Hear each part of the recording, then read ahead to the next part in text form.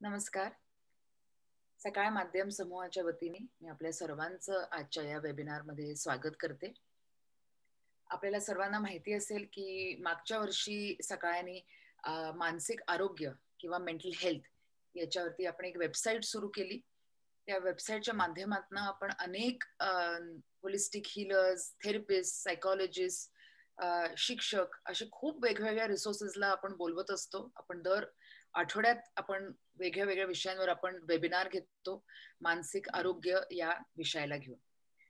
त्याच्याच बरोबर आपण सकाळ सोबत बोलूया अशी आपण हेल्पलाईन सुद्धा लॉन्च केली होती जी twenty four hour seven days week कधीही चोवीस तास उपलब्ध अशी ही हेल्पलाईन आहे. आपल्याला कोणालाही गरज वाटली तर किंवा कोणाला याच्याबद्दल सांगावं असं वाटलं तर मी नक्की सगळ्यांना रिक्वेस्ट करीन की आवर्जून तुम्ही या हेल्पलाईनची माहिती सर्वांना द्या. दुसरं म्हणजे आपण एन आयच्या माध्यमातनं आपण मैत्री डिजिटल युगाशी असे आपण हे सिरीज काही वेबिनार्सच्या आधी आपण सुरू केले आहेत. त्यात आपण त्याची विजन त्याचा असा आहे की आपण खूप वेगवेगळ्या राष्ट्रीय आणि आंतरराष्ट्रीय स्थळावरच्या शिक्षकांना ज्यांना खूप वेगळ्या प्रकारचे ग्रो ग्लोबल प्राईज किंवा नॅशनल अवॉर्डीज अशा आपण शिक्षकांना आपण बोलवतो आहोत. त्यांच्याबरोबर संवाद साधतो आहोत की काय त्यांनी वेगळं केलं आजच्या या डिजिटल युगामध्ये? काय त्यांचं इन्स्पिरेशन होतं? कसं त्यांनी छोट्याशा खेड्यांमध्ये गावांमध्ये सुद्धा एवढं मोठी कामं केली आहेत? त्यांचे हे विचार त्यांचे हे आयडियाज हे आपल्या सर्वांना मोटिवेट करण्यासाठी आम्ही असं दर महिन्याला वेगवेगळ्या शिक्षकांना आपल्यासमोर आपण आणतो की आपण हा संवाद त्यांच्याबरोबर साधू शकू आणि त्यांच्याकडनं खूप शिकू शकू. पुढच्या वेबिनारमध्ये सुद्धा आपण विविध देशातल्या जसं नायजेरिया कोरिया कॅनडा अशा देशातल्या शिक्षकांना आपण सुद्धा आमंत्रित केलं आहे की ते त्यांच्या त्यांनी केलेलं काम आपल्या सर्वांसोबत ते शेअर करतील की कसं आपण त्यातनं काही इम्प्लिमेंट करू शकतो का महाराष्ट्राच्या शाळांमध्ये सुद्धा. त्याच सिरीजच्या अंतर्गत आपण आजचे आपले chief guest guest of honour आहेत श्री दत्तात्रय वारेजी. नमस्ते श्री वारेजी आणि थँक्यू धन्यवाद. आज तुम्ही वेळ काढून आलात सकाळच्या या वेबिनारसाठी श्री वारेजी राष्ट्रपती पुरस्कार विजेते आहेत. मुख्य अध्यापक जिल्हा परिषद आंतरराष्ट्रीय शाळा. आज आपल्याला विशाल त्यांच्याशी संवाद साधणार आहे आणि त्यांच्या थ्रू आपल्याला श्री वारेजी काय त्यांनी कसं केलं त्यांनी डिजिटल क्लासरूममध्ये त्यांचे लेसन प्लॅन्स कसे होते कसे ते विविध विषय क्रिएटिव्हली इनोव्हेटिव्हली डिजिटल प्लॅटफॉर्मवरती ते कसं शिकवतात आज आपल्या सर्वांना याच्याबद्दल माहिती पण मिळेल आणि खूप शिकायला पण मिळेल. मी परत एकदा आपल्या सर्वांचा आभार मानते या वेबिनारमध्ये आल्याबद्दल आणि श्री वारेजी परत एकदा थँक्यू धन्यवाद की आपण आज वेळेत वेळ काढून आज आपण आलात.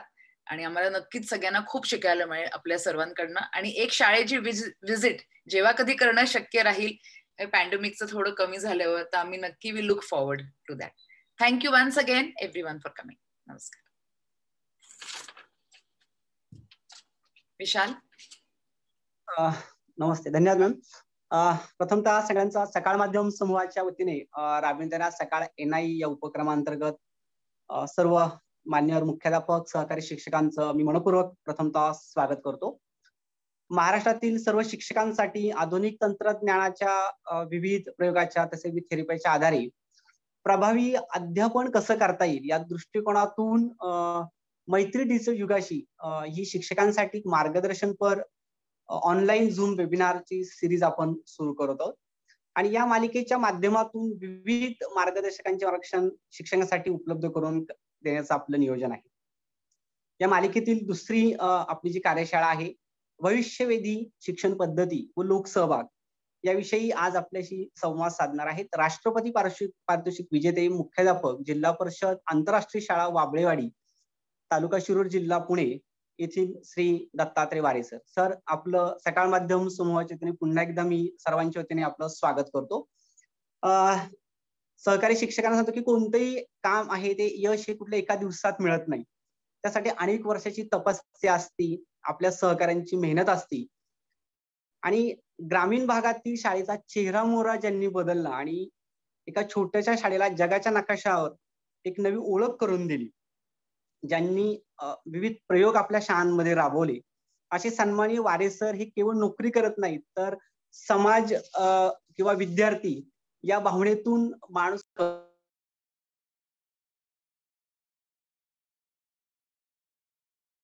एक सक्षम नागरिक घडण्याकडे त्यांचा कल असतो. दत्तात्रय वारे सर यांनी शाळेमध्ये विविध उपक्रम केले त्याचं छोटस मी सर तुम्ही म्यूट जाता ते सारखं तुम्ही स्क्रीनला टच करून. विशाल सर विशाल सर तुम्ही स्क्रीनला हात. लावून म्यूट वर जाता ते. तर फक्त ते केअरफुल राहा. येस ठीक नक्की ज्या ठिकाणी शिक्षक विद्यार्थी एकत्रित काम करतात Aavishkar the learning centre science school foundation batch robotics championship drone व three D three D printer training student exchange programme Sweden virtual learning America विषय मित्र योजना सहअध्यायी अध्ययन आर्ट अँड क्राफ्ट संगीत विशारद संस्कृत शिक्षण स्पोकन इंग्लिश डीएसओ अंतर्गत क्रीडा प्रशिक्षण असेल किंवा कृषी व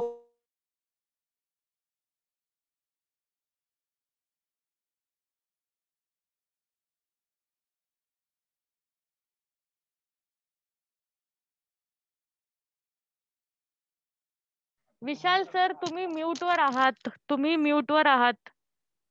विशाल सर. विशाल सर तुम्ही अरे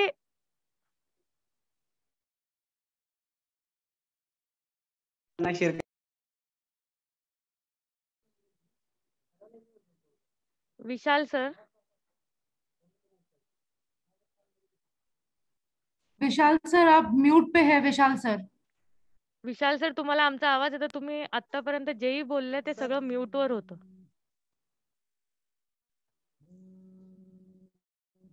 सर्वसाधारण जिल्हा परिषद शाळा ते आंतरराष्ट्रीय दर्जा शाळा या प्रवासावर आपला थोडासा संवाद.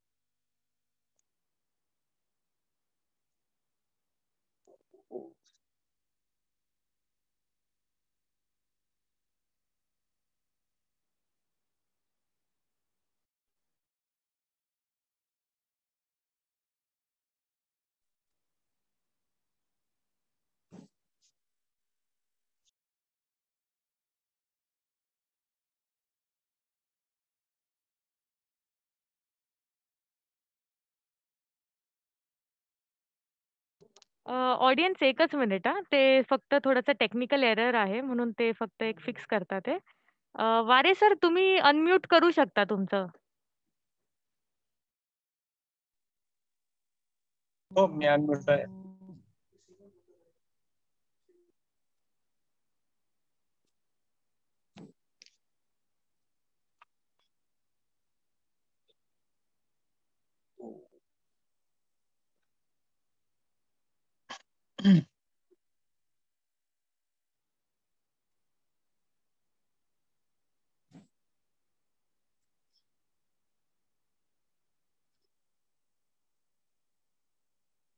टीम कशातून बंद करतात सुमित?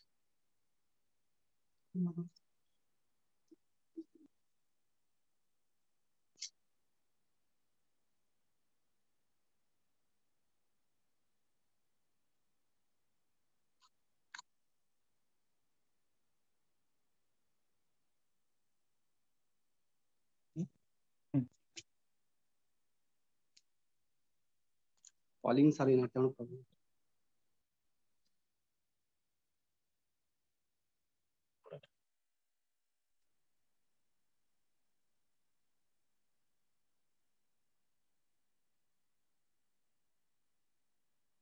मला फक्त ऑडियन्सला सांगायचं की दोन मिनिटं फक्त पॉज घेऊ आपण. विशाल सर फक्त त्यांचं फिक्स करतात ते. थोडासा माईकचा इश्यू आहे. तर प्लीज जस्ट वेट दोनच मिनिटं थांबूया. सर लाईनवर येतीलच. येतोय आता आवाज आणि दिसते मी?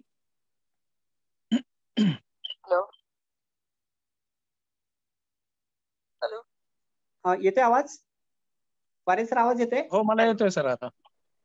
Okay sir thank you. Sorry technical problem थोडस हे झालं. मी वारे सरांचं पुन्हा एकदा थोडं स्वागत करतो आणि सरांना मी विनंती करतो की सर एक सर्वसाधारण जिल्हा परिषद शाळा ते आंतरराष्ट्रीय जिल्हा परिषद शाळा या प्रवासावर थोडस आपला आमच्या सहकारी शिक्षकांशी संवाद. जी जी जी सर्वप्रथम सकाळ माध्यमातर्फे सकाळ समूहातर्फे एनआय च्या माध्यमातून हा जो संवाद साधण्याची आपण संधी दिलीत आणि वाबळेवाडी शाळेसंदर्भात जे काय आज हा योग दिला. शाळेच्या मी आपला खूप आभारी आहे. वाबळेवाडीच्या शाळेच्या प्रवासासंदर्भात सांगायचं झाल्यास मी सुरुवातीला वाबळेवाडीची सामाजिक आणि एकंदर भौगोलिक स्थिती या संदर्भात मी थोडक्यात सांगेल. बाबळेवाडी हे पन्नास साठ घरांची छोटीशी वाडी छोटीशी वस्ती आहे.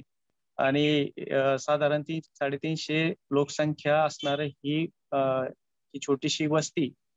दोन हजार बारा साली ज्यावेळेस मी इथं बदलून आलो बदली प्रशासकीय बदलीच्या माध्यमातून त्यावेळेस दोन खोल्या आणि बत्तीस मुलं ह्या पद अशा पद्धतीची आणि इयत्ता चौथी पर्यंतची असणारी ही शाळा या शाळेच्या प्रवासामध्ये तिथून सुरुवात करून लोकसहभागाच्या माध्यमातून शाळा ज्यांची मुलं शाळेत शिकतात त्यांनी शाळेसाठी योगदान द्यायचं आणि सगळ्या म्हणजे श्रमदानापासून आर्थिक योगदानापासून सगळ्या पद्धतीच्या शाळेच्या शाळेसाठी आवश्यक असणाऱ्या सगळ्या बाबी या समाजाने येऊन पूर्ण करायच्या अशा प्रमुख अटींमधून किंवा उद्दिष्टामधून ही शाळा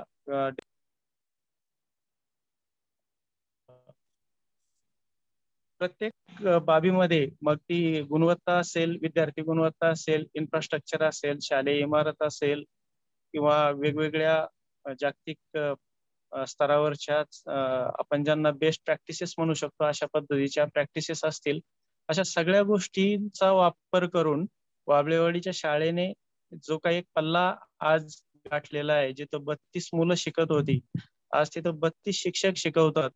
साधारण सातशे मुलं सातशे पेक्षा जास्त मुलं शाळेच्या पाठावर आहेत. साधारण चार हजारपेक्षा जास्त मुलं वेटिंग लिस्टमध्ये असतात. एका जिल्हा परिषद शाळेच्या मराठी माध्यमाच्या शाळेच्या. आणि अशा पद्धतीचं एक परिस्थिती किंवा एक कल्चर या ठिकाणी निर्माण झालेलं आहे की प्रत्येकाला जो आज आपण परिस्थिती पाहतो की इंग्रजी माध्यमाच्या शाळांमध्ये प्रवेश घेण्याकरता जी एक स्पर्धा लागलेली असायची पालकांची त्यापेक्षाही जास्त गतीची स्पर्धा किंवा तीव्रतेची स्पर्धा वाबळेवाडीच्या जिल्हा परिषदच्या शाळेमध्ये प्रवेशासाठी लागलेली असते. ही गोष्ट सांगताना मला नक्कीच आमच्या सगळ्या महाराष्ट्रातल्या जे जिल्हा परिषदच्या शाळा आणि शिक्षक आहेत यांच्या वतीनं किंवा यांच्याच बरोबरीनं मलाही या गोष्टीचा नक्कीच अभिमान वाटतो. खूप वेगवेगळ्या मी मागाशी जसं सांगितलं तसं बेस्ट प्रॅक्टिसेस असतील वेगवेगळे उपक्रम असतील वेगवेगळे प्रयोग असतील ह्या सगळ्यांच्या माध्यमातून एक सर्वसाधारण जिल्हा परिषदेची शाळा ते शासनानेच जो आंतरराष्ट्रीय शाळा प्रकल्प सुरू केला होता त्याच्यामध्ये मान्यता दिलेली आंतरराष्ट्रीय दर्जाची शाळा. तिथपर्यंतचा हा प्रवास आमच्या शिक्षक सहकार्यांच्या माध्यमातून आमच्या ग्रामस्थांच्या सहकार्यातून हा सगळा इथपर्यंत येऊन पोहोचलेला आहे. नक्कीच छान. सर सगळ्यांना ही शाळा खरंच पाहायला आवडेल. ज्याप्रमाणे आपण सांगितलं की एक वेटिंगला जिथे विद्यार्थी आहेत अशी शाळा पाहिलं नक्कीच सगळ्यांना आवडतं. आपला एक विषय आपण या सेमिनारच्या वेबिनारच्या माध्यमातून आपण घेतला होता की भविष्यवादी शिक्षण पद्धती आणि लोकसहभाग. तर या अनुषंगाने नक्की भविष्यातील शिक्षण पद्धती म्हणजे नक्की काय असणार आहे आणि त्याच्यामध्ये लोकांचा सहभाग कसा असेल? तर या यावर आपलं काय मत आहे आणि भविष्याची शिक्षण पद्धती कशी असली पाहिजे? आपल्याला काय वाटतं यानिमित्त जी. सर आपण शाळेमध्ये मुलं येतात त्यावेळेस आपण नेहमी सांगत असतो की मुलांना त्यांच्या भविष्यासाठी आपल्याला तयार करायचे त्यांच्या करिअरसाठी आपल्याला तयार करायचे त्याही पुढे आपण जाऊन सांगत असतो की की मुलं म्हणजे आपल्याला यांची जडण करायची. कुटुंबापासून देशाच्या आधारस्तंभ असणारी मुलं त्यांना त्यांच्या भविष्यातल्या आयुष्यासाठी आपल्याला तयार करायचे. साधारण पुढचा किती काळ आपण त्याच्यासाठी गृहित धरतो तर पुढच्या तीस चाळीस पन्नास वर्षाच्या काळासाठी यांना आपण तयार करत असतो. पण शिकवणारे शिक्षक असू द्यात किंवा शिकणारी मुलं असू द्यात नेमकं पुढे काय घडणार आहे? की हे जग कसं असणार आहे? याचा योग्य अंदाज तसा कुणालाच नसतो. मग नेमकं आपण भविष्यवेधी म्हणायचं कशाला? आपण एक अंदाज करू शकतो की पुढच्या पंचवीस तीस वर्षानंतर हे जग कसं असू शकतं आणि कोणकोणत्या गोष्टींना किंवा टॉप टेन मध्ये कोणकोणत्या गोष्टी असू शकतात? त्या बाबतीत आजच आपण मुलांना शाळेमध्ये त्याच्या संदर्भातील काही एक्सपोजर देऊ शकतो का? अशा पद्धतीने आपण एकंदर विचार करू शकतो. पण आपण विचार करतो त्याच पद्धतीचं जग हे असणार का भविष्यातलं? की काही वेगळं असू शकतं? काही वेगळे वेगळे प्रश्न निर्माण होऊ शकतात का? किंवा त्या प्रश्नांना तोंड देण्यासाठी मग आज आपण काय केलं पाहिजे? निश्चितपणे कुणीच सांगू शकत नाही शिकणाराही सांगू शकत नाही आणि शिकवणाराही सांगू शकत नाही. मग याच्यामध्ये एकच पर्याय शिल्लक राहतो.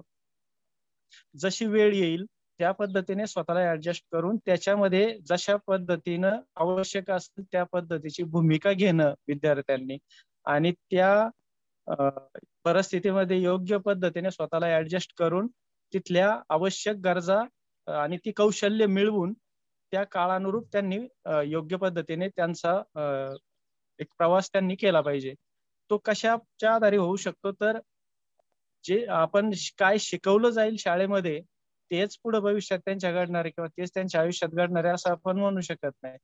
पण ज्या काही गोष्टी शिकणं त्यांना आवश्यक वाटेल पुढे भविष्यामध्ये आणि ते शिकवायला त्यांना शिक्षक नसतील त्यावेळेस ते स्वतः शिकतील का? स्वतः शिकण्याची कला किंवा लर्निंग टू लर्न आपण ज्याला म्हणतो त्यावेळेस ज्या गोष्टी आवश्यक असतील त्या स्वतः शिकून घेणं आत्मसात करणं ती कौशल्य मिळवणं आणि त्याचं उपयोजन करणं ह्या पद्धतीचं कौशल्य असणारी मुलंच मग भविष्यामध्ये चांगल्या पद्धतीने वाटचाल करू शकतील. ह्या पद्धतीचं शिक्षण आज आपण शाळेमध्ये देऊ शकतो का? हे भविष्यवेधी शिक्षण आपण याला म्हणू शकतो. आणि त्याचा विचार केला आणि त्या पद्धतीची काही क्षेत्र आम्ही शाळेमध्ये तयार केलेली आहेत. आमच्या एकंदर अंदाजानुसार की भविष्यामध्ये काय टॉप टेन मध्ये असू शकतं? आपण काय विद्यार्थ्यांना आज दिलं पाहिजे ह्या शालेय अभ्यासक्रमाच्या बरोबर पुस्तकांच्या बरोबर? तर त्या पद्धतीची वेगवेगळी क्षेत्र आणि त्या क्षेत्रामधील वेगवेगळ्या आम्ही निर्धारित केलेल्या अभ्यासक्रमाचं एक्सपोजर आम्ही त्यामधून मुलांना देत असतो. तर याच अनुषंगाने खरं तर म्हणजे आधीचा माझा प्रश्नाशी थोडस हा प्रश्न निगडीत आहे की जिल्हा परिषद शाळा ते आंतरराष्ट्रीय शाळा हा प्रवास तर तुम्ही सगळ्यांशी शेअर केला. पण नक्की ही कल्पना तुम्हाला कशी सुचली? आणि आमचे इतरही सहकारी शिक्षक हे नक्की त्यांना ऐकायला आवडेल की ही प्रेरणा घेऊन ते त्यांच्या शाळेमध्ये पण अशा पद्धतीने काही नवीन प्रयोग ते कसे करू शकतील? म्हणजे जिल्हा परिषद शाळेमध्ये सर्वसामान सर्वसाधारणतः त्याचा एक साचे पद्धती शाळा. तर पूर्ण तुम्ही त्याचं डिजिटल स्वरूप केलं. म्हणजे अगदी प्रत्येक विद्यार्थ्याच्या हातामध्ये तुम्ही टाईप दिलेलं आहे. तर ही नक्की कल्पना तुम्हाला कशी सुचली? आणि हे प्रयोग इतर शाळांमध्ये म्हणजे शाळांनी करायचे ठरवले तर कशा पद्धतीने ते करू शकतील? जी. सर दोन पंधरा ऑगस्ट दोन हजार बारा ज्या दिवशी आमची ग्रामसभा झाली होती आमच्या शाळेमध्ये आणि हा सगळा एकंदर उपक्रम आम्ही लोकांच्या समोर ठेवला होता. आणि त्यावेळेस आम्ही एक कल्पना दिली होती अशी लोकांना की जर आपण आपली मुलं जगाच्या पाठीवर कुठल्याही देशाच्या किंवा शहरातल्या मुलांच्या स्पर्धेसाठी पाठवतोय तर मग तिथं जाऊन त्यांना केवळ आपण खेडेगावातून आलोय किंवा जिल्हा परिषदच्या शाळेमध्ये शिकलोय म्हणून कुणी सहानुभूती दाखवणार नाही. आणि ती सहानुभूती दाखवून त्यांना कुणी म्हणजे त्यांच्यात क्षमता नसली किंवा त्यांनी तेवढी त्या दर्जाचं काम त्यांनी जरी नाही केलं तरी त्यांना कुणी पुढं त्या स्पर्धेमध्ये पुढे आणणार नाही. त्यांना त्या स्पर्धेमध्ये टिकायचं असेल तर त्या तोडीस तोड त्यांना अगदी तयारी करावी लागेल स्वतःची आणि ती तयारी करून मग त्यांना त्या स्पर्धेमध्ये उतरावं लागेल. ही तयारी करत असताना आपण केवळ खडू फळा याच्या याचाच फक्त आधार घेऊन किंवा इथून अगोदर जे काही शिक्षण ज्या पद्धतीने शिक्षण चाललंय त्या पद्धतीचं शिक्षण त्यांना उपलब्ध करून आपण त्या पद्धतीची अपेक्षा मुलांकडून धरू शकत नाही. मग जर त्यांना त्या स्पर्धेला पात्र करण्यासाठी तेवढी तयारी करण्यासाठी आपल्याला निर्माण घडवायचंय त्या मुलांना तर मग त्या पद्धतीची साधनं त्या पद्धतीचं वातावरण त्या पद्धतीचं मार्गदर्शन हे शाळेमध्ये आपल्याला उपलब्ध करावं लागेल. मग संगणक असतील इंटरनेट असेल किंवा वेगवेगळी विज्ञानातली काही साधनं असतील प्रयोग असतील सगळ्या ज्या काही तंत्रज्ञानातल्या बाबी असतील ज्याला आपण येत्या काळामध्ये म्हणजे टॉप टेन मध्ये कोणकोणती क्षेत्र असू शकतील फील्ड असू शकतील ह्याचा जर आपण बारकाईने विचार केला तर त्या सगळ्या पार्श्वभूमीवर ते सगळं वातावरण ते मार्गदर्शन आणि ते सगळी साधनं आपल्याला शाळेत निर्माण करावे लागतील उपलब्ध करून द्यावे लागतील मुलांना. आणि ती उपलब्ध करून दिल्यानंतर त्याच्या बरोबर काम करत करत ही मुलं आपोआप घडत जातील. कोण कोणाची प्रगती कशी होईल कोण कुठं जाईल आणि कोण पुढे जाईल कोण मागे राहील ह्या गोष्टी आपण ठरवू शकत नाही. आपण एक करू शकतो की सगळी साधनं आणि सगळ्या सोयी सुविधा आपण मुलांना जर उपलब्ध करून दिल्या तर मग जो तो ज्याच्या त्याच्या प्रयत्नाने शिक्षकांच्या मार्गदर्शनाने त्या त्या स्वतः त्याने त्याच्या इनबिल्ट असलेली जी शक्ती आहे जी क्षमता आहे जी गती आहे त्याच्यानुसार तो आपोआप पुढे जात असतो. पण ह्या सगळ्या गोष्टी जर बाजूला ठेवल्या किंवा वजा केल्या तर मात्र केवळ अपेक्षा ठेवून आपल्याला मुलांकडून काही करून करता येणार नाही त्यांना काही करणं शक्य होणार नाही. हे जे म्हणजे ह्या पद्धतीच्या वातावरणाची किंवा साहित्याची मुलांना आपण शाळेच्या माध्यमातून ग्रामस्थांच्या माध्यमातून आपण उपलब्धता करून देणं हे आपलं प्रथम कर्तव्य आपण सगळ्यांनी समजलं पाहिजे. आणि ते वातावरण जर आपल्याला उपलब्ध करून देता नाही आलं तर शिक्षक म्हणून किंवा ग्रामस्थ म्हणून आपण अपयशी असं आपण समजलं पाहिजे. हे पंधरा ऑगस्ट दोन हजार बारा साली त्या दिवशी आम्ही लोकांशी बोलताना ह्या गोष्टी मांडल्या लोकांनी त्याला चांगल्या पद्धतीचं म्हणजे रिस्पॉन्स दिला. आणि आम्हाला आवश्यक असणारी जी आमच्या स्वप्नातली शाळा होती की जे स्वप्न आम्ही लोकांच्या डोळ्यापुढे उभं करण्यात यशस्वी झालो होतो. ते सगळं लोकसहभागातून उभं करता आलं आम्हाला.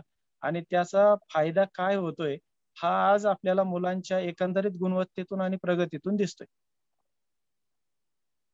सर. म्हणजे खरं ज्या ठिकाणी विद्यार्थी आणि शिक्षक दोन्ही एकत्रित नाविन्यपूर्ण शिक्षणाची का साथी धरली. सर आपण शाळेमध्ये आविष्कार द लर्निंग सेंटर आणि सायन्स स्कूल फाउंडेशन बॅच आपण सुरू केलेली आहे. तर नक्की हे काय कशा पद्धतीने आपण हे डेव्हलप केले? की आपण रोबोटिक चॅम्पियनशिप ड्रोन व थ्री डी प्रिंटर ट्रेनिंग आपण शाळेमध्ये सुरू केलेले आहे. किंवा student exchange programme Sweden virtual learning जे म्हणतो आपण अमेरिका या ठिकाणीच केले. तर ही नक्की कल्पना काय आहे आणि ती कशा पद्धतीने आपण विकसित केलेली आहे? सर जसं मी दो अगोदर बोलताना सांगितलं उल्लेख केला या गोष्टींचा की काही वेगवेगळी क्षेत्र आपल्याला निश्चित करावी लागतील ज्याच्यामध्ये आपल्याला अभ्यासक्रमाच्या बरोबरीने मुलांना तयार करून घ्यावं लागेल. फक्त बऱ्याचदा होतं असं की एक शाळा एका म्हणजे सगळ्या प्रकारच्या व्यवस्था जिथं असतात त्याला आपण शाळा म्हणू शकतो. पण कधी कधी असं होतं की आपण केवळ डिजिटल म्हणजे शाळा अशा एका प्रवाहात जातो केवळ कधी कधी ज्ञान रचनावाद म्हणजे शाळा अशा प्रवाहात जातो. कधी केवळ स्कॉलरशिप किंवा स्पर्धा परीक्षा म्हणजे शाळा अशाही प्रवासात आपण प्रवाहात जातो. पण बऱ्याचदा असं होतं की हे हे आणि याच्या व्यतिरिक्त अजून खूप साऱ्या गोष्टी आहेत. ह्या सगळ्या एकत्रित आपण मुलांसाठी मुलांच्या व्यक्तिमत्व विकासासाठी जडणघडणीसाठी वापरण्यासाठीची ही हत्यारं आहेत असं आपण म्हणू शकतो. थोडक्यात आपल्या भात्यामधले हे सगळे बाण आहेत. केवळ एक गोष्ट घेऊन किंवा त्याच्याच आधारावर मुलांच्या बरोबर काम करून उपयोग होणार नाही. मग ते असं होईल की इतर ज्या क्षमता असतात मुलांच्या मध्ये किंवा इतर खूप साऱ्या गोष्टी ज्या मुलांना निसर्गदत्त असतात त्या गोष्टींचा जर आपण वापर केला नाही तर मग त्याचा वापर झाला नाही म्हणजे त्या गोष्टी तशाच राहून जातील. थोडक्यात आपण असंही म्हणू शकतो ना की विज्ञानामध्ये आपल्याला सांगितलं जातं की पूर्वी शेपूट होतं माणसाला पण त्याचा वापर झाला नाही म्हणून ते गळून गेलं. अशाही पद्धतीने क्षमता असताना मुलांच्या जर त्याच्यावर काम झालं नाही किंवा एकाच दिशेने जर आपण काम करत राहिलो तर त्या मुलांचा आपण फायदा करतोय का नुकसान करतोय? हा ही आपल्याला पहिल्यांदा त्याच्यावर विचार करावा लागेल. खूप साऱ्या गोष्टी खूप साऱ्या वेगवेगळ्या अँगलनी आपण मुलांच्यावर काम करू शकतो. त्या सगळ्या गोष्टी आपण शाळेमध्ये उपलब्ध करायच्या ह्या योजनेतून मग ते आविष्कार लर्निंग सेंटर असेल किंवा भविष्यवेधी शिक्षण प्रणालीतली जी जी काही क्षेत्र असतील आमची त्यामध्ये मग मशीन लर्निंग ह्या गोष्टीवर आमच्याकडे काम चालतं. वेगवेगळ्या ज्या मशीन्स आहेत थ्री डी प्रिंटर्स आहेत इतर बऱ्याच साऱ्या गोष्टी सीएनसी असतील किंवा ज्या आपल्याला मशीन्स सध्या याच्यामध्ये दिसत आहेत समाजामध्ये किंवा जगात आपण ज्यावेळेस पाहतो त्यावेळेस ह्या मशीन्स आपल्याला दिसतात आणि त्या भविष्यामध्ये त्याच्यावर खूप साऱ्या बाबी अवलंबून असतील अशा मशीन्सचा अभ्यास ह्या मशीन लर्निंगमध्ये आम्ही करून घेतो. मागाशी तुम्ही सांगितलं की ड्रोन किंवा त्या बाबतीत एरोनॉटिक्सच्या बाबतीमध्ये त्याच्यावरही आमची एक प्रयोगशाळा आहे. त्याच्यावरही आमचं काम चालतं चांगलं. फायनान्शियल लिटरसीवर आम्ही चांगलं काम करतोय किंवा आम्ही येत्या काळामध्ये आम्ही मुलांना त्याबद्दल ह्या सगळ्या गोष्टी शिकवता शिकवता फायनान्शियल लिटरसी मध्ये अगदी बेसिक गोष्टींपासून तर चांगल्या मोठ्या लेवल पर्यंत आम्ही ह्या मुलांच्या समोर आणलेल्या आहेत. लॉकडाऊन आता चालू आहे. त्याच दरम्यान आमचं हे सगळं साधारण एक मे ला आमची ती बॅच सुरू होते. आणि लॉकडाऊन मध्येच आम्ही त्याच्यावर काम करतोय सध्या. संगीतावर आमचं खूप चांगलं काम चालतं. संगीत विशारद म्हणजे शाळेत असतानाच दहावी किंवा बारावी होईपर्यंत तो मूल ज्याला गती आहे संगीतामध्ये किंवा आवड आहे त्या मुलाला विशारद होण्याची सुविधा आम्ही शाळेमध्ये उपलब्ध करून दिलेली संगीत हा एक असा विषय आहे की म्हणजे तो अभ्यासक्रमाचा भाग असावा नसावा ह्या वादामध्ये न पडता मी एक सांगू शकतो की तो अभ्यासक्रमाचा भाग असेल का नसेल हा त्या त्या शाळेच्या किंवा शिक्षकांचा निर्णयाचा भाग असू शकतो. पण संगीत हे जीवनाचा जीवनाचा अविभाज्य भाग आहे. त्या पद्धतीने आपण त्याच्याकडे पाहिलं पाहिजे आणि तशा पद्धतीने पाहून ते शाळेमध्ये आम्ही त्याला इंट्रोड्यूस केलेले बहुभाषिक शाळा तयार करायची ह्या उद्देशाने त्या संदर्भात आपण पुढे बोलूच. पण एका वेळेस मुलं कमीत कमी सात आठ भाषेवर काम करतायत. सरलचे रिपोर्ट असेही येतात. असरचे रिपोर्ट की अमुक वर्गातल्या मुलाला मराठी वाचता येत नाही अमुक वर्गातल्या मुलाला मराठी वाचता येत नाही. त्या पार्श्वभूमीवर पहिली दुसरी ते चौथी पाचवी पर्यंतच्या मुलांना सात आठ भाषा स्पोकन लेवल पर्यंत सहज बोलता येतील अशा पद्धतीचं काम आमचं चालू आहे. अजूनही चांगल्या लॉकडाऊन नंतर अजूनही चांगल्या पद्धतीने त्याच्यावर आम्ही काम करून त्याचा परिणाम समोर आणतोय. आर्ट अँड क्राफ्ट त्याच्यामध्ये एक डिपार्टमेंट आहे. एक जिओलॉजी डिपार्टमेंट आहे. ऍस्ट्रॉनॉमी डिपार्टमेंटवर तिथं काम चालतंय. कम्प्युटरच्या किंवा आर्टिफिशियल इंटेलिजन्सला पुढचा काळ खूप महत्त्वाचा असणार आहे. त्याच्यावर कोडिंग लँग्वेजेस वेगवेगळ्या विद्यार्थी शिकतायत.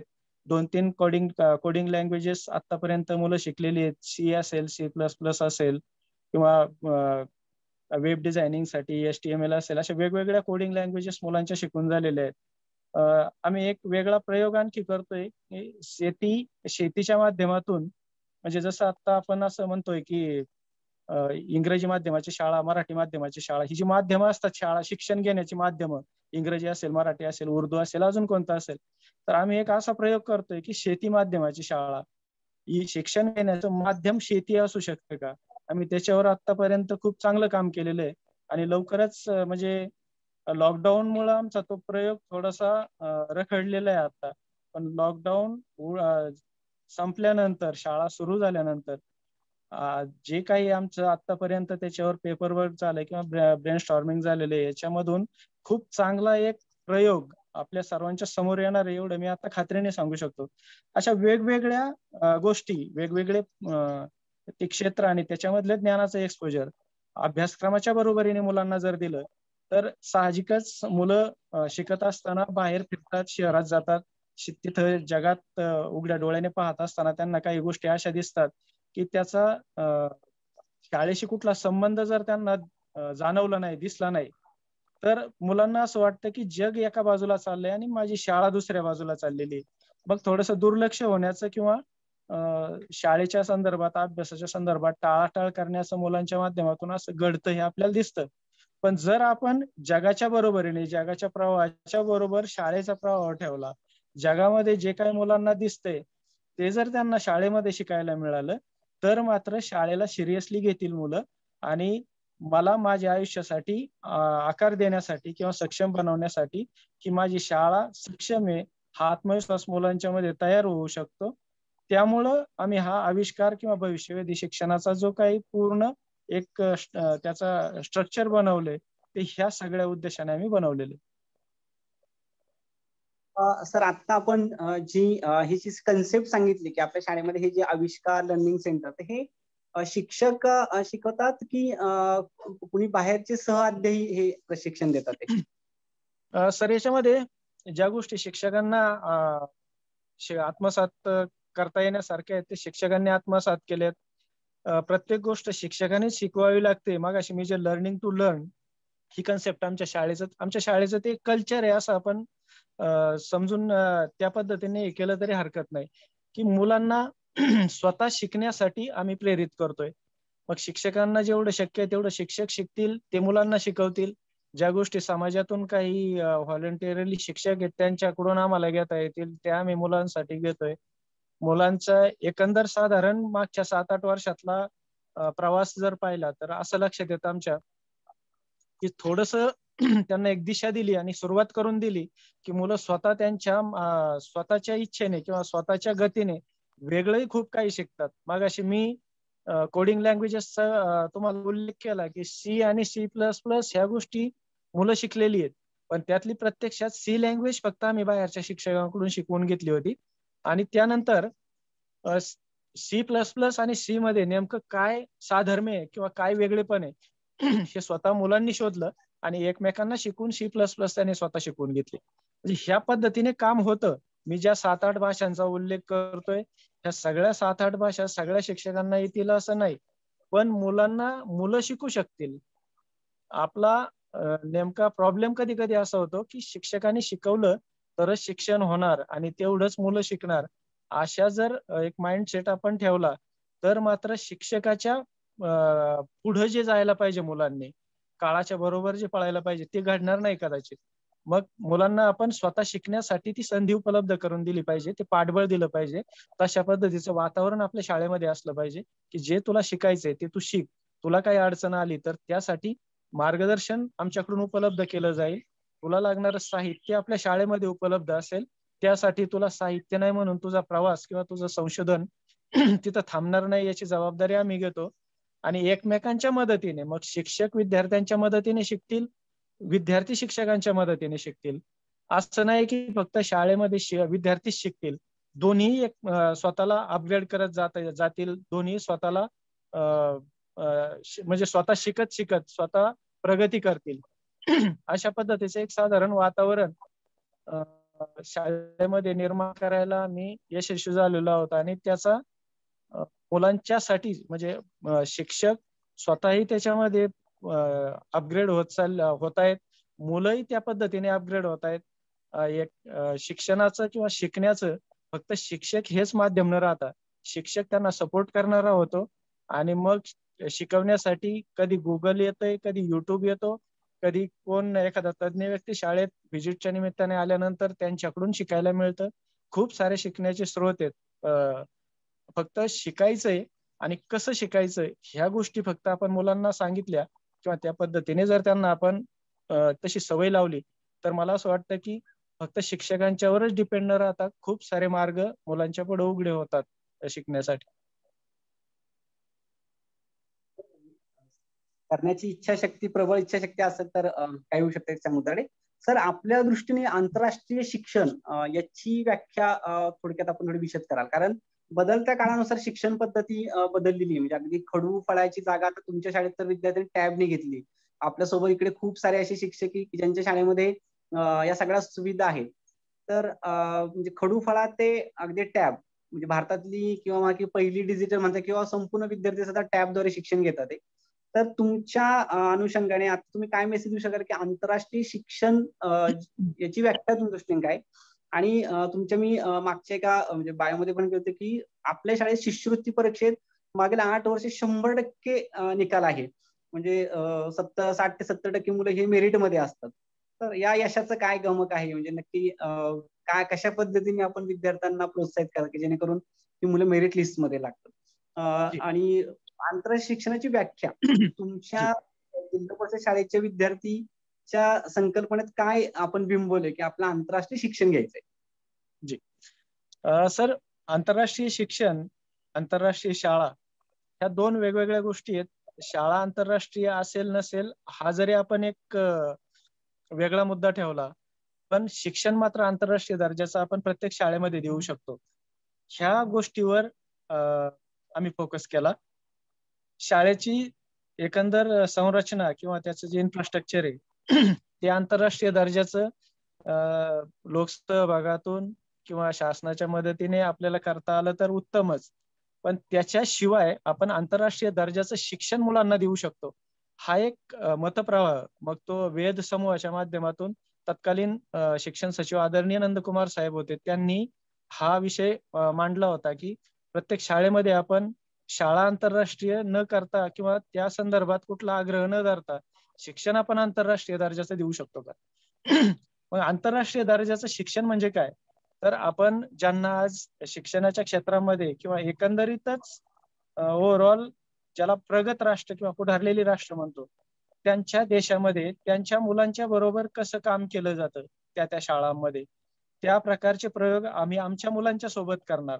किंवा प्रत्यक्ष कॉपी पेस्ट न करता त्यांच्या वातावरणानुसार ते जे प्रयोग तिथं राबवले जातात आपल्या वातावरणानुसार किंवा आपल्या परिस्थितीनुसार त्यांना कसं मॉडीफाय करून आपल्या इथं राबवता येऊ शकतं. आणि फक्त बाहेरच्याच गोष्टी बाहेरचेच उपक्रम आपल्या इथं आणलं म्हणजे आपलं आंतरराष्ट्रीय शिक्षण झालं असं नाही. त्यांचं शिक्षण आपल्यासाठी आंतरराष्ट्रीय असतं. पण आपल्याकडे खूप चांगल्या अशा गोष्टी आहेत की त्या गोष्टी त्यांच्यासाठी आंतरराष्ट्रीय शिक्षणाचा भाग असू शकतो. जागतिक लेवलवर किंवा जागतिक पातळीवर सर्वोत्तम दर्जाचं शिक्षण मग काही त्यांचे प्रयोग असतील काही आपले प्रयोग असतील आपल्या परिस्थितीनुसार इथं शिक्षकांच्या इनोव्हेशन मधून निघलेल्या काही खूप साऱ्या गोष्टी असतील. महाराष्ट्रभर अनेक शिक्षक अशा पद्धतीचं खूप चांगलं इनोव्हेशन करताना आपल्याला दिसतात सध्या. आणि म्हणजे खूप शाळा अशा की आपल्या शिक्षण विभागाच्या आपण ज्याला आर एन डी म्हणू शकतो रिसर्च अँड डेव्हलपमेंट सेंटर अशा पद्धतीच्या शाळा आपल्या महाराष्ट्रामध्ये खूप खूप काही शाळा आहेत. खूप सारे असे शिक्षक आहेत की त्यांनी वेगवेगळे प्रयोग आपल्या शाळांमध्ये केलेले आहेत. हे सगळे प्रयोग आपापल्या शाळांमध्ये थेट किंवा काही मॉडीफाय करून त्यांना जर आपल्या विद्यार्थ्यांसाठी राबवता आलं. बाहेरच्या देशांमधून चाललेल्या त्यांच्या शिक्षण पद्धतीतील काही चांगल्या गोष्टी त्यांच्या शिक्षणाच्या ज्या काही त्यांची धोरणं असतील किंवा त्यांच्या मुलांसाठी त्यांनी निर्माण केलेल्या सुविधा असतील ह्या काही गोष्टी आपण आपल्या पातळीवर आपल्या शाळेतल्या मुलांसाठी कशा उपलब्ध करून देऊयात त्याच्यावर जर आपण काय काम केलं त्याच्यासाठी आपल्याच पालकांना आपल्याच गावातल्या लोकांना जर आपण मदतीला घेतलं तर त्यांच्या मदतीने आपण कुठलीही अशक्य गोष्ट शक्य करू शकतो. जोडीला जसं आंतरराष्ट्रीय शिक्षण ह्या गोष्टींचा आपण थोडासा याच्यामध्ये एक स्पष्टीकरण पाहिलं की जागतिक पातळीवर ज्याला आपण बेस्ट प्रॅक्टिसेस म्हणतो त्या पद्धतीच्या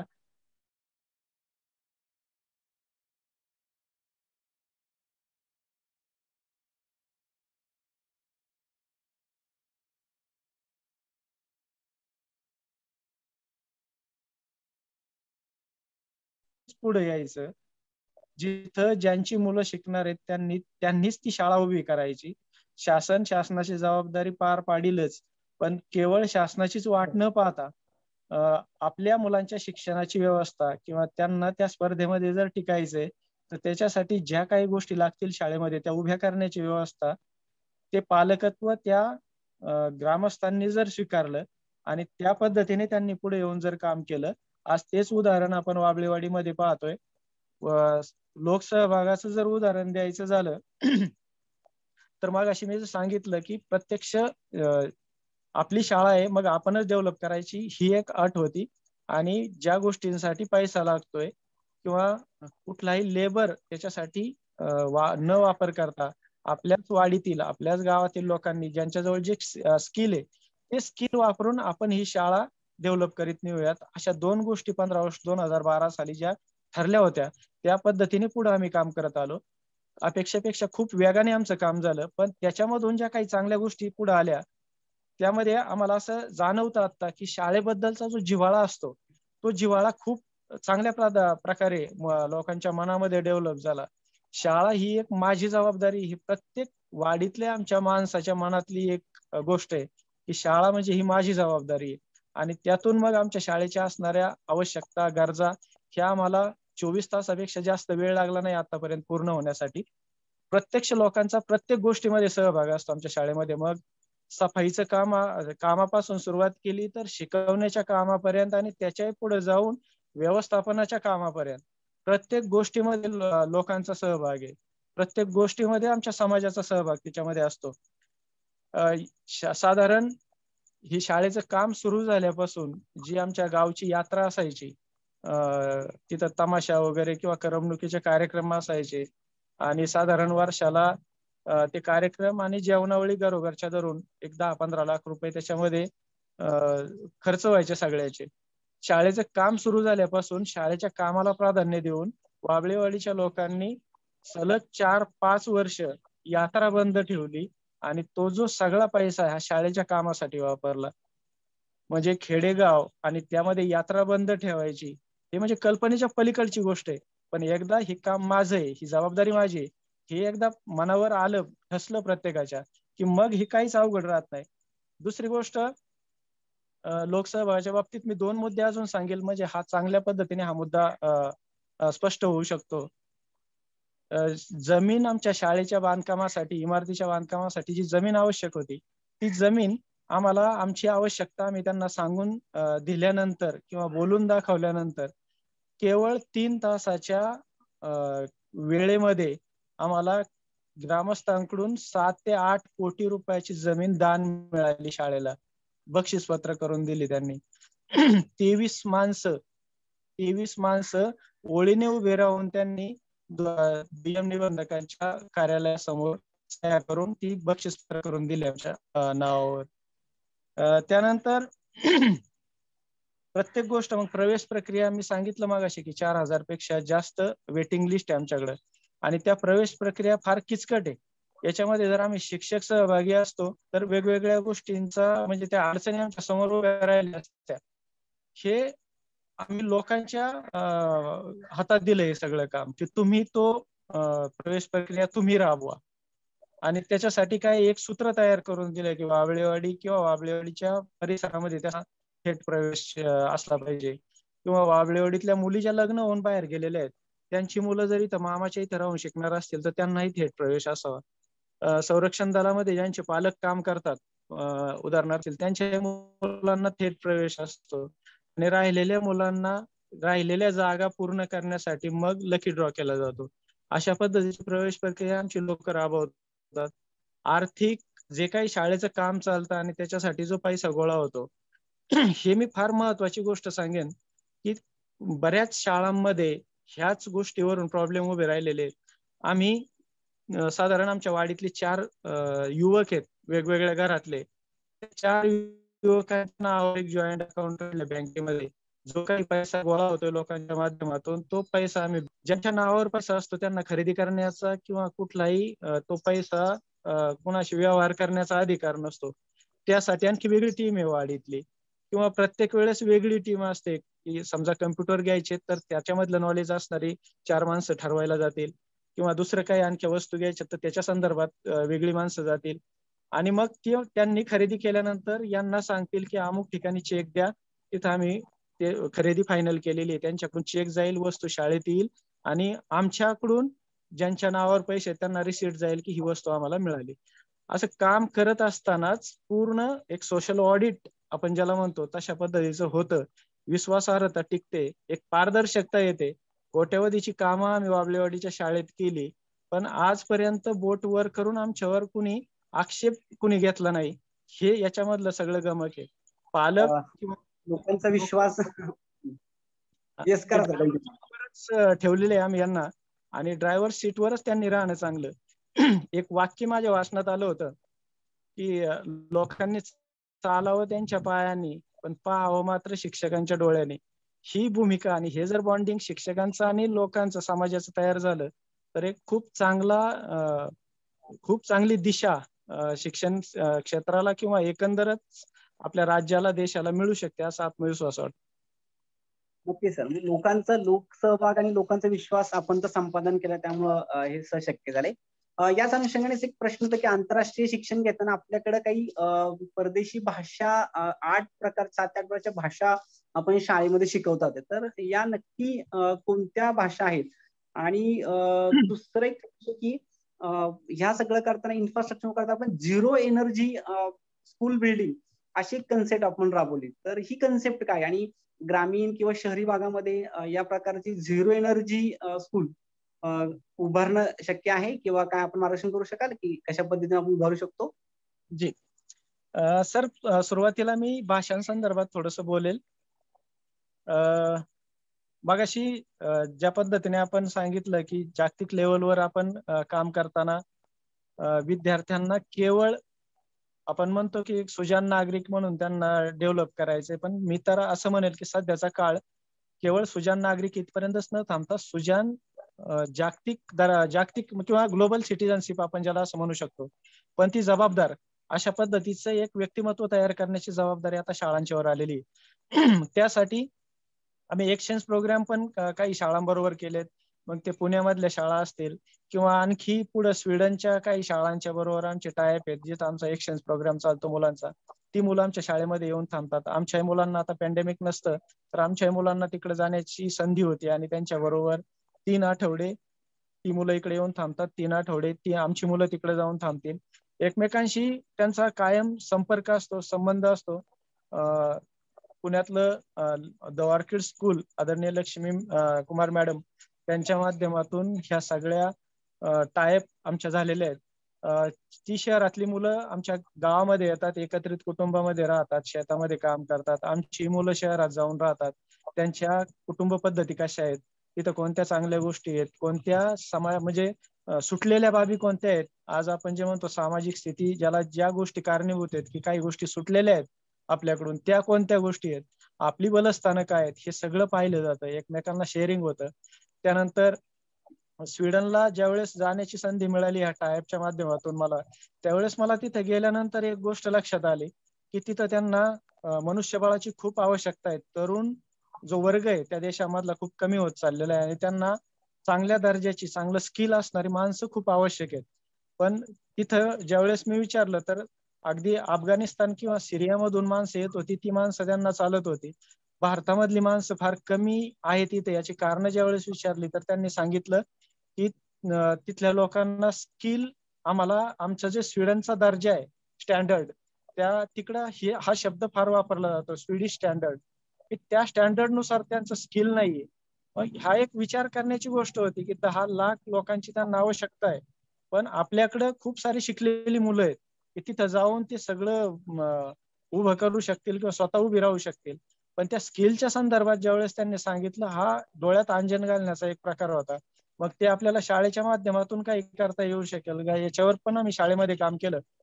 तर ह्याच्यामध्ये वेगवेगळ्या शहरांमध्ये वेगवेगळ्या राज्यांमध्ये किंवा वेगवेगळ्या देशांमध्ये आपण असं एक ग्लोबल सिटीजनशिप किंवा तुमची तुम्हाला अमुक एक राज्याबद्दल कसं वाटतं काय वाटतं किंवा अमुक देशाबद्दल काय वाटतं हे ज्यावेळेस मुलांना आपण विचारू त्यावेळेस तिथं त्यांचा असणारा मित्र त्याच्याबद्दल त्यांची जी भूमिका असते ती त्या राज्याबद्दल किंवा ती देशाबद्दल तशी भूमिका असते. स्वीडन मधल्या काही मुलांच्या बद्दल आमच्या मुलांची मैत्री आहे. स्वीडिश भाषा मुलांना एकमेकांकडून त्यांनी शिकलेली तर जाणीवपूर्वक ती एक त्यांची अशी एक मानसिकता बनून गेलेली असते की स्वीडन आणि स्वीडिश भाषा किंवा ती माणसं त्यांना जवळ जवळकीची वाटू लागतात. आपल्या देशामध्ये आपण विविधतेबद्दल खूप असं अभिमानाने सांगतो. पण खरंच सगळ्या भाषा वेगवेगळ्या प्रकारच्या आहेत. आपण बोलू शकतो का? त्याच्याबद्दल आपल्याला काही माहीत आहे का? याचाही आपण आता बारकाईने विचार केला पाहिजे. मग हे जर एखादी एखाद्या संवाद जर साधायचा असेल मैत्री जर आपल्याला पाहिजे करायची असेल त्याच्याशी संवाद साधावा लागतो. संवाद साधायचा असेल तर ती भाषा आत्मसात आपल्याला करून घ्यावी लागते. अगदी ती म्हणजे चांगल्या लेवलवरची नाही आली तरी चालेल. पण स्पोकन लेवल किमान संभाषण साधण्या इतपत्ती भाषा आपल्याला आली पाहिजे. तर आपण तिथं मैत्री करू शकतो किंवा त्यांना समजून घेऊ शकतो. असं एकमेकांना समजून घेणं एकमेकांना जोडी चालणं ह्याच्यासाठी हा बहुभाषिकत्वाचा मी पर्याय स्वीकारलेला आहे. आणि तो पर्याय स्वीकारित असताना मग भारतीय भाषांचा विचार केला तर मग मराठी हिंदी हा आपल्या रेग्युलर भाषा आहेतच. पण एक भाषा पूर्वेकडची मग ती बंगाली एक भाषा पश्चिमेकडची ती गुजराती एक भाषा दक्षिणेकडची ती आम्ही आता सध्या तेलुगू घेतलेली आहे. एक आपली जुन्या काळाला जोडणारी भाषा म्हणून संस्कृत अशा चार भारतीय भाषांच्यावर आमच्याकडे काम चालू आहे. आणि परदेशी भाषांमध्ये आम्ही लॉकडाऊन मध्ये आता जापनीज वर इतकं काम केलं आमची शहात्तर मुलं एन फाईव्ह लेवलच्या परीक्षेला आता बसलेली आहेत की जपान सरकारमार्फत जी परीक्षा घेतली जाते त्या परीक्षा आमची मुलं शहात्तर मुलं आता देत आहेत. खूप चांगल्या पद्धतीने दोन तीन महिन्यामध्येच मुलांच्या मुलांनी या जापनीज भाषेवर कमांड मिळवलेले लॉकडाऊनच्या अगोदर आम्ही फ्रेंचवर खूप चांगलं काम केलं होतं. त्याही भाषेवर आमच्या मुलांचं चांगलं प्रभुत्व आहे. इंग्रजीवर स्पोकन म्हणजे इंग्लिश इंग्रजी भाषेमध्ये मी स्पेशली स्पोकन इंग्लिश म्हणतो. त्याच्यावर आम्ही खूप चांगलं काम केले अगदी कॉन्व्हेंट शाळेच्या मुलांची जी फ्लुएन्सी लेवल असते त्याच दर्जाची किंबहुना त्याच्यापेक्षा चांगल्या दर्जाची फ्लुएन्सी लेवल आमच्या मुलांची स्पोकन इंग्लिशच्या बाबतीमध्ये. जे जो काही एक सगळीकडे असं बोललं जातं की इंग्रजी माध्यमाच्या शाळामुळं आपल्या मराठी माध्यमाच्या शाळा धोक्यात आल्यात अडचणीत आल्यात असं काही नाही. एक इंग्रजी माध्यम इंग्रजी भाषेबद्दल एक कुतूहल असतं लोकांना. ती भाषा आपल्या मुलांना आली पाहिजे समजली पाहिजे बोलता आली पाहिजे. ही एक प्रत्येक पालकाची अपेक्षा असते. आणि त्यामुळं ती जिल्हा परिषदच्या शाळेमध्ये तेवढ्या उंचीची त्यांना मिळत नसेल कदाचित. म्हणून ते इंग्रजी माध्यमाच्या शाळेकडे जातात. बाकी कोणतंही कारण नसतं. आमच्या शाळेमध्ये आम्ही स्पोकन इंग्लिशवर विशेष लक्ष केंद्रित केलं. आणि तुम्हाला म्हणजे ह्या गोष्टी ही गोष्ट मी आवर्जून सांगेल की मागच्या लॉकडाऊन मध्ये मागच्या लॉकडाऊन मध्ये आम्ही त्याच्यावर खूप चांगलं काम केलं. आणि सर्वच्या सर्व शंभर टक्के मुलांना आम्ही त्या दर्जावर घेऊन आलो की जो आम्हाला अपेक्षित दर्जा होता स्पोकन इंग्लिशचा म्हणजे लॉकडाऊनच्या काळात सुद्धा म्हणजे त्या काळात तर आम्ही गमतीने म्हणायचो की जसं सर्फ एक्सेलची जाहिरात आहे ना की दाग अच्छे होते असं म्हटलं जातं. तसं त्या काळात आम्ही म्हणायचो लॉकडाऊन अच्छा होत आहे. खूप साऱ्या गोष्टी आम्ही मुलांना मुलांना त्या एक्सपोजर मुलांना दिलं त्या काळामध्ये. अजूनही आमचा तो प्रयोग चालू आहे. आता आम्ही एनईपीशी सुसंगत विषय प्रश्न की मराठी हिंदी म्हणजे तीन भाषा जर शाळेमध्ये शिकवलं जातं पण अशी सहज शिकवली जाणारी अशी कुठली भाषा आहे की जी आपल्या इतरही सहकारी शिक्षक किंवा शाळेचे विद्यार्थ्यांना ती शिकवली जाऊ शकते किंवा ती सहज बोलू शकतील? आपला अनुभव काय या बाबतीत?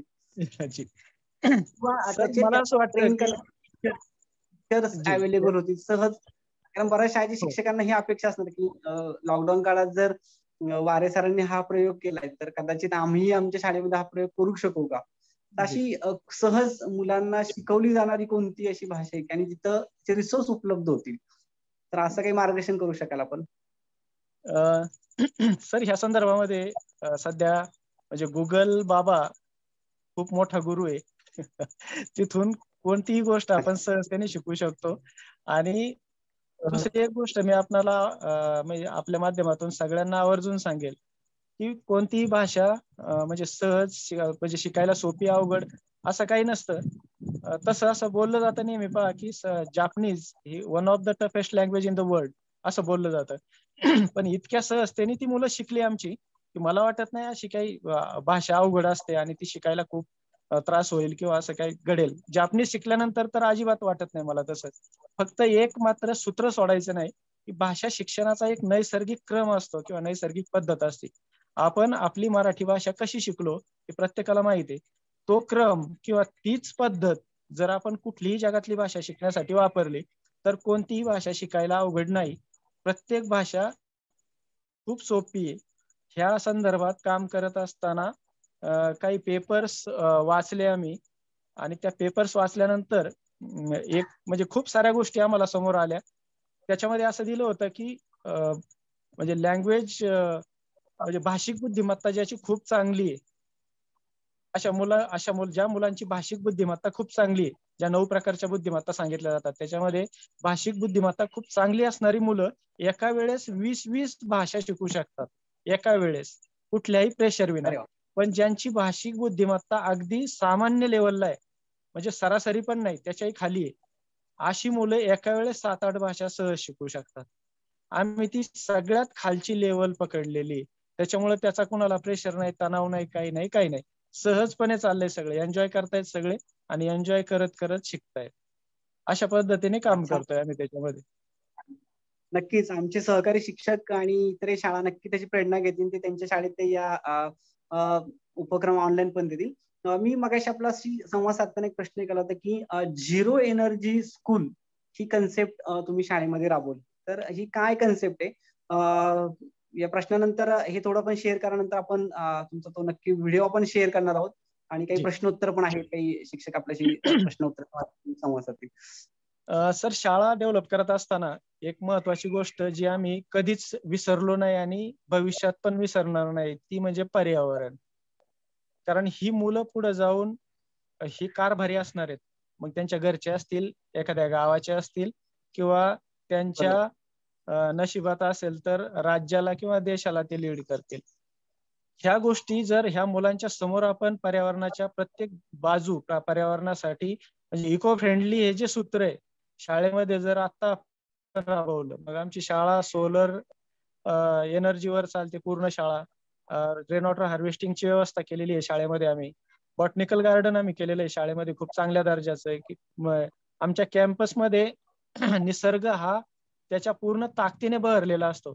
आणि ते निसर्गाचं सौंदर्य आणि त्याचं वैभव आमच्या मुलांना त्या निसर्गाला शरण जाण्यासाठी भाग पाडतं. इतक्या चांगल्या पद्धतीने आम्ही ते शाळेमध्ये डेव्हलप केलेलं आहे. शाळेची इमारत बांधत असताना ज्या वेळेस आमच्या पुढे काही ऑप्शन होते की रेग्युलर पद्धतीने बांधायची का पर्यावरणपूरक पद्धतीने बांधायची मग तो आम्ही पर्यावरणपूरक पद्धतीचा मार्ग स्वीकारला. मग आम्ही याच्यामध्ये मुलांना संधी दिली की आम्ही त्यांना आम्ही सांगितलं त्यांना की आपल्याला शाळा बांधायची पण शाळा ही आमच्यासाठी नसून शाळा ही मुलांसाठी असते. मग तुम्हीच सांगा की तुम्हाला ती शाळा कशी पाहिजे? ते वर्ग कसे पाहिजे? ज्या सूचना मुलांच्या आल्या त्या सगळ्या सूचना आम्ही डिझाईन मध्ये टाकल्या. आणि आज ही झिरो एनर्जी स्कूल बिल्डिंग आमची उभी ही सगळ्या मुलांच्या कन्सेप्ट आहेत. आणि अशाच पद्धतीने आम्ही नेहमी मुलांच्या बरोबर काम करतो शाळेमध्ये प्रत्येक बाबीमध्ये.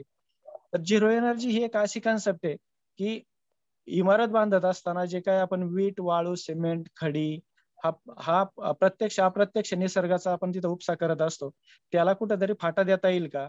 त्याला काही ऑप्शन्स शोधता येतील का त्या मटेरियलला म्हणून आम्ही मग टफन ग्लास युपीएससी किंवा पॉलिकार्बोनेट टेन्साईल मेम्ब्रेन ह्या ह्या अशा वेगवेगळ्या साहित्याचे ऑप्शन्स त्याच्यासाठी तयार केले की जे काही प्लॅस्टिकपासून तयार होत होतं किंवा याच्यापेक्षा आपल्या रेग्युलर बिल्डिंगच्या पाच पाच पटीने याला जास्त आयुष्य आहे. मेंटेनन्स काहीच नाहीये. की म्हणजे पर्यावरणाचा ऱ्हास पूर्णपणे आम्हाला तिथं थांबवता आलाय. आता जर प्लॅस्टिक रियूज करून बनवलेलं मटेरियल असेल तर एकतर आम्ही सुरुवातीला पर्यावरणाचा ऱ्हास किंवा उपसा थांबवून आम्ही तिथली एनर्जी वाचवलेली आहे. कारण एक सिमेंटची गोण किंवा पिशी बॅग जर आपण शाळेच्या कामासाठी वापरली तर ती तीनशे रुपये साधारण जर तिची किंमत असेल तर त्याचं मटेरियल कॉस्ट पन्नास रुपयाचं असतं.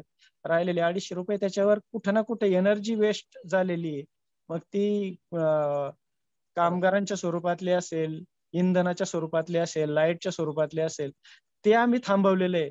ती एनर्जी आम्ही तिथं कमी केलेली आहे. तिची मायनसमध्ये आणलेली आणि त्याच्यानंतर जे मटेरियल आपण प्लॅस्टिकचं रियूज करून तिथं वापर वापरतोय त्याच्यासाठी प्लॅस्टिक डिस्ट्रॉय करायला पण एनर्जी लागते. आपण ते थांबवलं ही एनर्जी आपण तिथं वाचवलेली आणि त्यानंतर मग जी काही रनिंगमध्ये आपल्याला लाइट किंवा पाणी ह्या गोष्टी लागतात तर ती लाइट आम्ही सोलरवर टाकलेली आहे. पाणी आम्ही रेन वॉटर हार्वेस्टिंग करून वापरतोय. ह्या सगळ्या गोष्टी ज्या पर्यावरणाला म्हणजे त्याचा ऱ्हास होण्यासाठी किंवा त्याला त्रास देण्यासाठी कारणीभूत असतात आम्ही ते सगळं थांबवलंय आणि पर्यावरणाच्या बरोबरीने त्याच्या साथीने आम्ही जगायचं कसं हे आम्ही प्रत्येक पावलाला मुलांना सांगतोय. आणि मुलांना दाखवून देतोय सांगतोय म्हणजे. कारण पर्यावरण ही काही शिकवण्याची गोष्ट नाही पर्यावरण कोणी कोणाला सांगण्याची गोष्ट नाही. पर्यावरण ही जगण्याची गोष्ट आहे. असं या ठिकाणी विचारून ती थीम आहे. ती थीम आम्ही परिपूर्ण पद्धतीने शाळेत वापरलेली आहे आणि त्याच्यावर आम्ही तिथं काम करतो.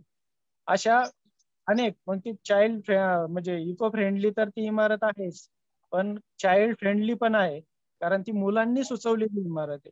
मुलांनी सुचवलेल्या कल्पना त्याच्यामध्ये त्यांना वर्ग कसा लागतो? जनरली आपल्याला एक शाळा म्हणलं की एक पद्धतीचं एक स्ट्रक्चर लक्षात येतं किंवा डोळ्यापुढे उभं राहतं आणि आपण तशी शाळा बांधतो. पण प्रत्यक्षात आपण कधी मुलांना विचारलेलं नसतं की तुम्हाला शाळा कशी पाहिजे? साधारण खिडक्या अशा लेवलवर ठेवायला लावतात. शाळेची इमारत बांधताना की मुलं बसल्यानंतर त्यांचं खिडकीतून बाहेर लक्ष जाऊ नये. पण आमचं मत असं आहे की एकाग्रता मुलांची ही समोरच्या मान समोरचा माणूस किती ताकदीचा आहे त्याच्यावर अवलंबून आहे मुलांची एकाग्रता.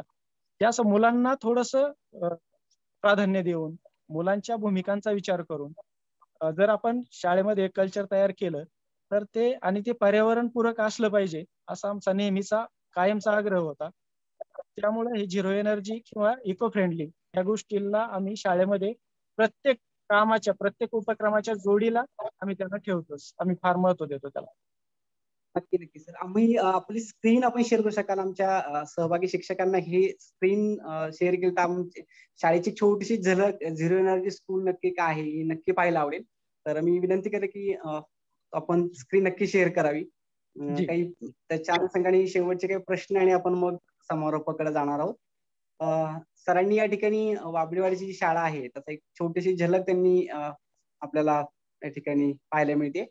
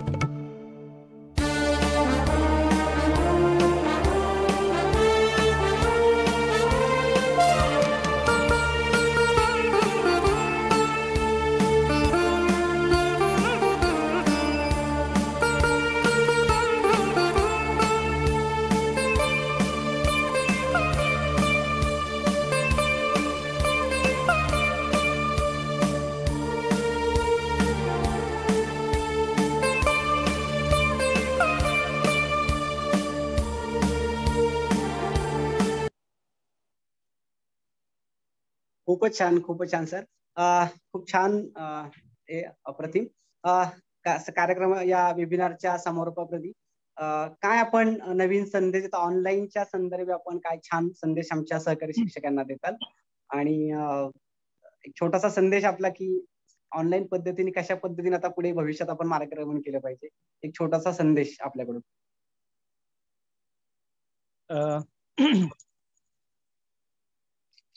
तर मी बोलून गेलो मग अशी बोलता बोलता मुलांच्या बाबतीमध्ये. की त्यांना आपण येणारा काळ कसा असेल हे आपल्याला जर माहीत नसेल तर एक स्किल आपण त्यांना शिकवू शकतो किंवा शिकण्याची एक पद्धत त्यांना आपण देऊ शकतो. ती पद्धत म्हणजे लर्निंग टू लर्न तर हीच पद्धत किंवा हेच स्किल मला असं वाटतं की आपल्या सगळ्या शिक्षकांनी आपल्या स्वीकारलं पाहिजे. काळ कसाही येईल आज जी परिस्थिती असेल त्याच्यापेक्षा वेगळी परिस्थिती उद्या उभी राहू शकते. काही आणखी काही अडचणी निर्माण होऊ शकतात. तर त्याच्यामध्ये आपली भूमिका नेमकी काय असली पाहिजे तो तो काळाचा अंदाज घेऊन जर आपण शिक्षकांनी त्याला खंबीरपणे तोंड दिलं तर कोणतीही कोणतंही संकट ते फार तीव्रतेचं आपल्याला कधीच वाटणार नाही. ही एक गोष्ट. आणि दुसरी गोष्ट संदेशच द्यायचा तर मी माझा देणार नाही. कारण मी असं इतकं स्वतःला अजून हे समजत नाही की मी संदेश द्यावा सगळ्यांना. पण आमची मुलं एकदा सातारला गेली होती. रयत शिक्षण संस्थेच्या ट्रेनिंगमध्ये गेली होती. आणि तिथं मुलांना प्रश्न विचारला होता की आमच्या शाळा तुमच्या शाळांसारख्या आम्हाला करायचे दोन गोष्टी सांगा आम्ही काय करू. तर मुलांनी तिथं अनाहूतपणे उत्तर दिलं होतं आमच्या पाटील सरांना. आणि आदरणीय मीनाताई जगधने पण त्यांच्या माध्यमातूनच आमची मुलं तिथं गेली होती. तर मुलांनी तिथं अनाहूतपणे उत्तर असं दिलं होतं की सर दोन गोष्टी करू नका. एकच गोष्ट करा. आणि ती एकच गोष्ट म्हणजे मुलांचं ऐकत चला. नक्की संदेश नक्की सर धन्यवाद. केवळ शिक्षक म्हणून नाही तर विद्यार्थ्यांची सेवा किंवा सेवा भावनेतून त्यांनी माणूस जपण्याचा कल जोपासला आहे. आणि जिथे विद्यार्थी आणि शिक्षक दोघे एकत्रित ज्ञान अवगत करतात असे बाबळेवाडीचे आंतरराष्ट्रीय जिल्हा परिषद प्राथमिक शाळा आंतरराष्ट्रीय शाळा म्हणून त्यांची ओळख आहे असे वारे सर आपण आपल्या आमच्याशी संवाद साधला. त्याबद्दल सकाळ माध्यम समूहाच्या वतीने सकाळ माध्यम समूहाच्या सर्व सहभागी मुख्याध्यापक आणि सहकारी शिक्षकांनी मी आपले आभार व्यक्त करतो. आणि हा जो संदेश आपण दिलाय हा नक्कीच प्रेरणादायी आहे. भविष्यात मुलांचं ऐकून शिक्षकही नवीन काही संकल्पना समोर आणतील ही सदिच्छा व्यक्त करतो. आणि आपण खूप साऱ्या शुभेच्छा देतो आणि आपण या ठिकाणी थांबू. धन्यवाद. थँक्यू सर धन्यवाद जी थँक्यू सर